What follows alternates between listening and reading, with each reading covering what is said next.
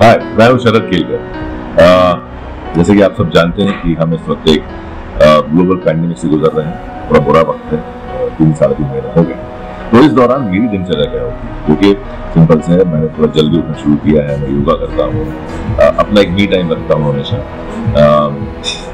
और सबसे ज़्यादा ज़रूरी है इस वक्त कि आपको पेशेंस रखना है और खुश रहना है। आप खुशी बाहर ढूंढते हैं, ऐसा नहीं है, खुशी आपके अंदर है। आप उससे अंदर ढूंढिए अपनी। खुशी मिलेगी।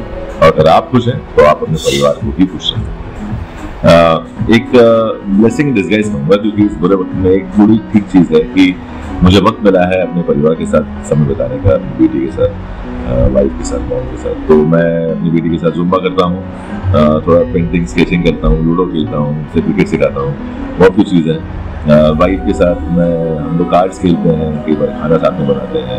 एक चीज़ तय कर लिए कि खाना सब लोग साथ में खाएँगे एक ही समय एक तरह रूटीन बन गया? स्ट्रेस बहुत है, इसलिए सबसे ज़्यादा पेशेंस है।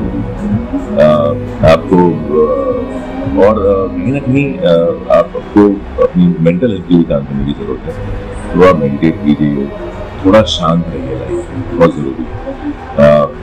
फ़िज़िकल हेल्थ के लिए ऑब्वियसली मैं योगा करता हूँ सुबह और शाम को मेरा वर्कआउट होता है।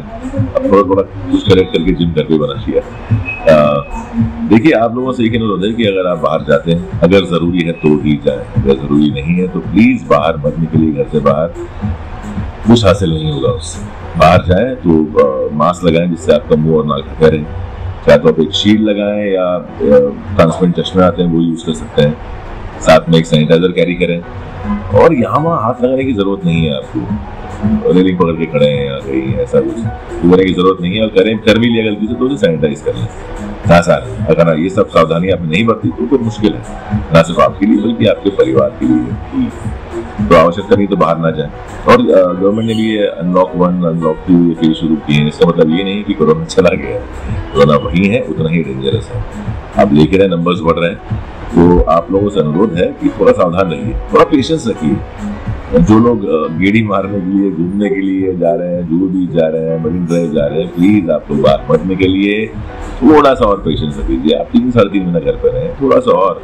जल्दी दवाइयाँ आ जाएँगी वैक्सीन वैक्सीन आ जाएगा, या कोरोना का की जो स्ट्रेंथ है वो बहुत कम हो जाएगी। कुछ ना कुछ पॉजिटिव तो होगा देखिए अगर आप पॉजिटिव हैं तो।